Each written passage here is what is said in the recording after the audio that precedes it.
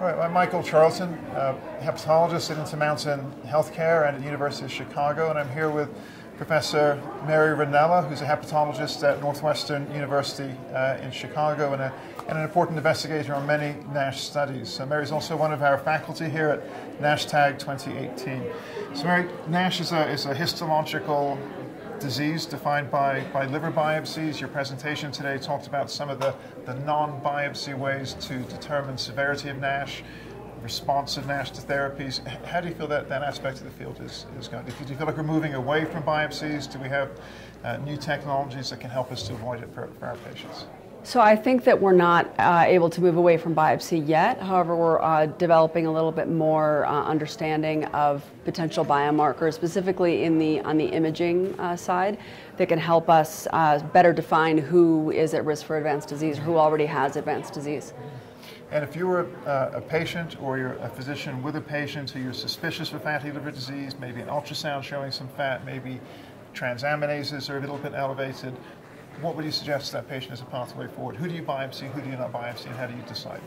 So um, my decision to biopsy is based on uh, the use of clinical prediction rules, uh, which you can either use concretely with some of the algorithms that have been put forth, such as NAFLD fibrosis score FIB4, um, or you can, uh, understanding the clinical risk factors, you then would select uh, those patients for perhaps non-invasive imaging such as FibroScan uh, or MRE, and then select out people who have increased liver stiffness for liver biopsy, and that gives you a much higher yield uh, of patients with NASH and fibrosis. And one last question. What do you think is the most important or the most two important endpoints for treating fatty liver disease from the perspective of a clinical trial and from a patient's well-being? What would you say are the top one or two?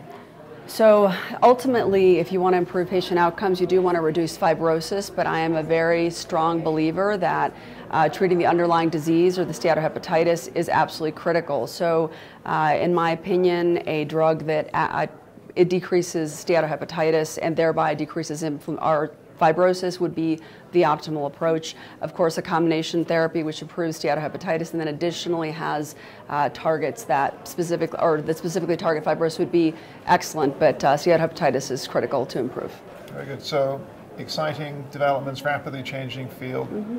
You learn about it all here at NASHTAG 2018. All right. Well, thank you, Mary. Thank you.